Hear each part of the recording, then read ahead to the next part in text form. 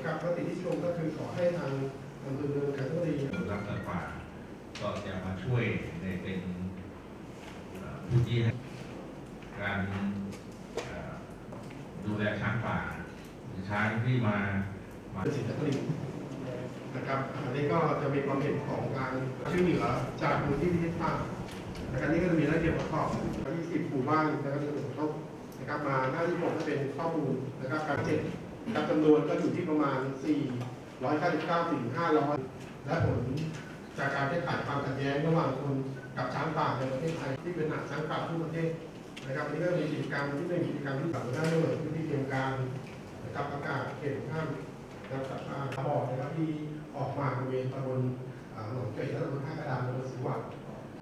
ส่วนหน้าเขตสถาบันสถาบันพันธ์นะครับเราเรียนที่คือเพื่อนหัวหน้าปฏิญาณแก่งกระจานมาด้วยคุณบุรีมาด้วยเลยนะ ป้านะครับบริเวณที่ช้างออกมาบ่อยๆไม่สามารถออกมาทำเป็นมันมามาหลายปีแล้วครับ ซึ่งการเคลื่อนย้ายพูดถึงการเคลื่อนย้ายเลยเราตามเนี่ยครับ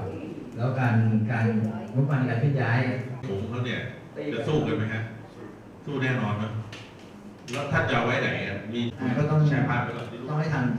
ทางอ่าทีมงานของกรมก็มองด้วยครับผมตามคำฝากข้างหนึ่งอาจจะ เสร็จครับหรือหรือท่านจะเอานอกพื้นที่เลยค่อนข้างจะต้องอ่อนล้าอืมแล้วมันก็จะทยอยออกมา จะหายไปช่วงหนึงไปขวางหรือว่าไปเดินชมสวนลมทุ่งเนี่ยคือประเทศไม่ได้เสียบาดเจ็บก็อาจจะระแวงได้ในกรณีที่ว่าข้างเดียวก็อาจจะเหวี่ยงได้นะฮะแต่ของเราก็ 40 ปีนะจากที่ข้อมูลที่ผมว่า 40 ปีเนี่ยช้างเนี่ยอายุเต็มที่แล้วนะครับอายุ ช้างเข้าตลาด ก็จะแย่งพื้นที่กับบุญช่วยที่ทางเข้าตลอด ทีนี้กลายเป็นว่าช้างสองตัวเนี่ยกลายเป็นตัวคุมช้างตัวอื่นในถนนอ่ากรณีที่ความรุนแรงเพิ่มในกรณีที่ความรุนแรงไม่ได้ไม่ได้มารุนแรงขนาดอ่าครับคิดว่าก็การเคลื่อนตัวอาจจะลำบากถ้าอยู่ในป่าอาจจะไม่เหมือนช้างที่ตาดีที่เขาเคลื่อนย้ายไปแค่อาหารเนี่ยต้องดูว่าลักษณะของฟันนะฮะฟันเขาอาจ